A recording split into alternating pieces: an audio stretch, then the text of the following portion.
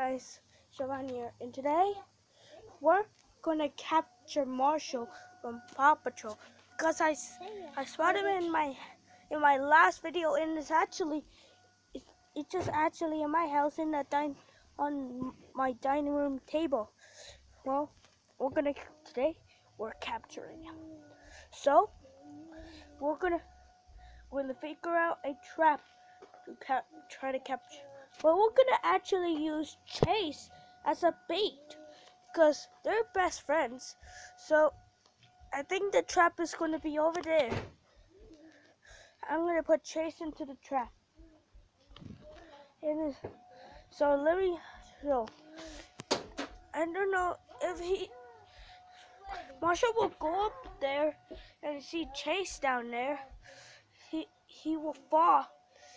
He will fall and we consistently capture Marshall. I'm gonna put the camera right there so I can record him going in it. So, so, so, I'm gonna put the camera and record him.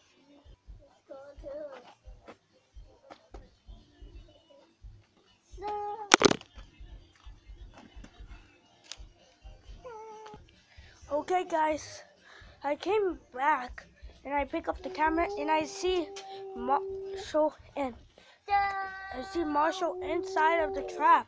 I'll go. Let's go. I will go capture him.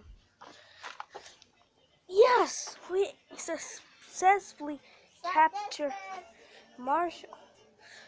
I, if you've seen two two videos ago, I I opened up Chase from I opened up Chase from Paw Patrol and it says on the note that Marshall will come and save him. Well, I, we capture him. Good. Let me go get Chase. We actually capture Marshall. So, tell us what we're gonna do this time.